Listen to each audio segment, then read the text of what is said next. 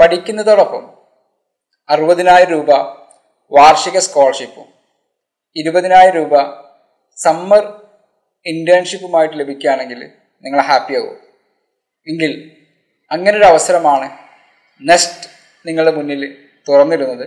ഇതിന്റെ അപേക്ഷ ക്ഷണിച്ചിട്ടുണ്ട്. വിശദമായിട്ടുള്ള ചർച്ചയിലേക്ക് നമുക്ക് പോകാം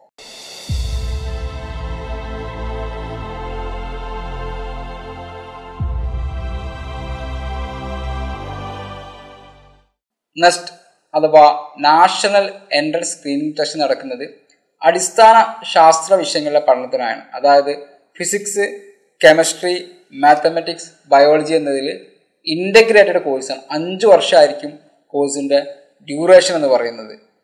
നിങ്ങൾ പി ജിയോട് കൂടിയായിരിക്കും പുറത്തേക്ക് ഇറങ്ങുക എന്നുള്ളതാണ് പ്രത്യേകത. പിന്നെ ഇത് ഏറ്റവും നാഷണൽ ഇമ്പോർട്ടന്റ് ആയിട്ടുള്ള സ്ഥാപനമാണ്. അതുപോലെ നിങ്ങൾക്ക് പഠിക്കാനുള്ളത് ഏറ്റവും പ്രധാനപ്പെട്ട ഇന്ത്യയിൽ തന്നെ സ്ഥാപനങ്ങളാണ്. National institute of science education research Bhubaneswar അഥവാ നൈസർ ഭുവനേശ്വറിലും അതേപോലെ തന്നെ യൂണിവേഴ്സിറ്റി ഓഫ് മുംബൈയിലെ department of atomic energy centre for excellence in basic science മുംബൈയിലാണ് നിങ്ങൾക്ക് പഠിക്കാനുള്ള അവസരം ലഭിക്കുക. ഇത് തന്നെ വലിയൊരു ഓപ്പർച്യൂണിറ്റിയാണ്. ഭാരതത്തിൽ അല്ലെങ്കിൽ നമ്മുടെ രാജ്യത്തിലെ ഏറ്റവും പ്രശസ്തമായിട്ടുള്ള സ്ഥാപനങ്ങൾ പഠിക്കാമെന്നുള്ളതാണ് മെയ് പതിനേഴ് വരെ നിങ്ങൾക്ക് അപേക്ഷിക്കാൻ സാധിക്കും.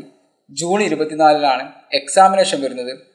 കേരളത്തിൽ വയനാട് ഒഴികെ മറ്റെല്ലാ ജില്ലകളിലും ഇതിന് എക്സാമിനേഷൻ സെന്റർ ഉണ്ട് എന്നുള്ളതാണ് മറ്റൊരു പ്രത്യേകത.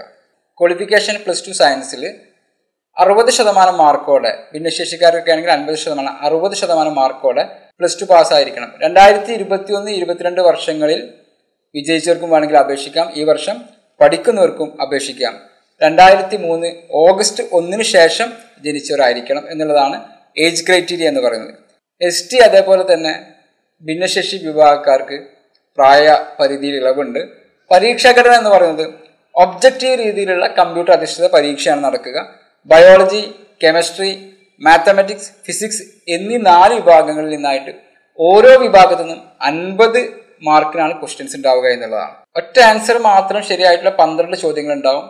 അതേപോലെ തന്നെ ഒന്നിൽ കൂടുതൽ ആൻസർ ശരിയായിട്ടുള്ള അഞ്ച് ചോദ്യങ്ങളും ഉണ്ടായിരിക്കും. ഇതാണ് പരീക്ഷയുടെ ഒരു ഘടന എന്ന് പറയുന്നത്. ചില ക്വസ്റ്റ്യൻസിനെല്ലാം നെഗറ്റീവ് മാർക്കും ഉണ്ടായിരിക്കും. നിങ്ങൾക്ക് നാല് സ്ട്രീം എഴുതാം. അതായത് ഫിസിക്സും കെമിസ്ട്രി മാത്തമാറ്റിക്സ് ബയോളജി എല്ലാം എഴുതാം. ഇതിൽ മൂന്നെണ്ണമാണ് നിങ്ങൾ റാങ്ക് ലിസ്റ്റ് പ്രിപ്പയർ ചെയ്യാനും വേണ്ടിയിട്ട് പരിഗണിക്കുക. അത് നിങ്ങൾ ഏത് റാങ്ക് ആണോ നേടിയിരിക്കുന്നത് അതുവഴിയായിരിക്കും നിങ്ങൾക്ക് എന്ത് ചെയ്യുക റാങ്ക് ലിസ്റ്റ് പ്രിപ്പറേഷനിലേക്ക് വരിക എന്നുള്ളതാണ്.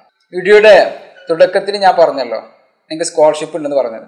അറുപതിനായിരം രൂപ സ്കോളർഷിപ്പ് എന്ന് പറയുന്നത് നിങ്ങൾക്ക് ഒന്ന് ഇൻസ്പയർ എന്ന് പറയുന്ന സ്കോളർഷിപ്പിന്റെ ഭാഗമായിട്ടും അതേപോലെ തന്നെ ഡി ഐ ദിശാപതിയുടെ ഭാഗമായിട്ട് അറുപതിനായിരം രൂപയുടെ സ്കോളർഷിപ്പും അതേപോലെ ഇരുപതിനായിരം രൂപയുടെ സമ്മർ ഇന്റേൺഷിപ്പ് ഗ്രാന്റ് എന്നിവ ലഭിക്കും.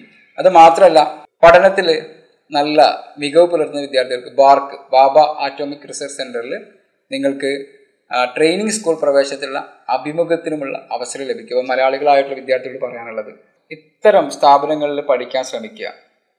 നിങ്ങൾക്ക് റിസർച്ച് ആയിട്ടും ജോബായിട്ടൊക്കെ വലിയൊരു ഓപ്പർച്യൂണിറ്റീസ് രാജ്യത്തിലും രാജ്യത്തിന് പുറത്തൊക്കെ കാത്തിരിക്കുന്നുണ്ടാവും. ഇത്തരം സ്ഥാപനങ്ങൾ പഠിക്കാനും അതുപോലെ ഏറ്റവും ബ്രൈറ്റ് ഫ്യൂച്ചർ ഉണ്ടാവാനും ഉള്ള അവസരം നിങ്ങൾക്ക് ഉണ്ടാവട്ടെ എന്ന് പ്രാർത്ഥിക്കുന്നതോടൊപ്പം ഈ വീഡിയോ മറ്റു കൂട്ടുകാരിലേക്ക് ഷെയർ ചെയ്യാൻ ചാനൽ പരിചയപ്പെടുത്താൻ ശ്രമിക്കാം. ഒരുപാട് അപ്ഡേഷൻസ് ഇനിയും വരാനുണ്ട്. താങ്ക്